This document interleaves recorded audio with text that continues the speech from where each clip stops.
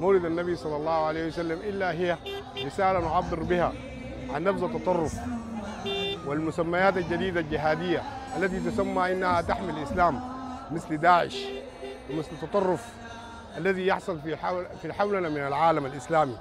من هنا نعبر عن حبنا لهذه الاحتفالية الجميلة إلا أنها تعبير صادق عن شعب صادق يحب رسوله صلى الله عليه وسلم.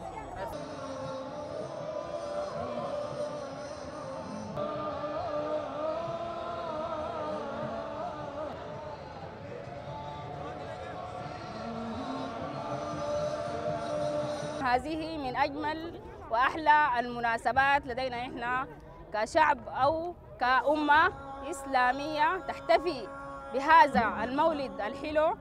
الرهيب الذي يجمعنا كشعب سوداني أو أي أجناس أخرى.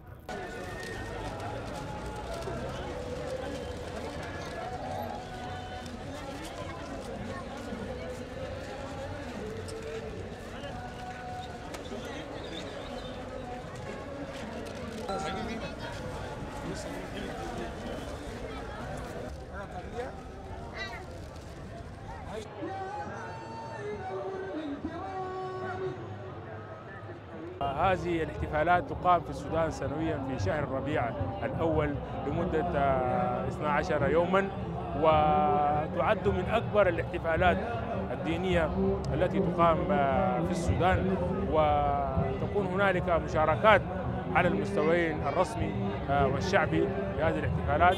وتخصص الدولة ساحات ضخمة جدا لهذه الاحتفالات. تأتي فيها الطرق الصوفية والجماعات الدينية لتقيم فيها سرادقاتها للاحتفال بالمولد النبوي الشريف.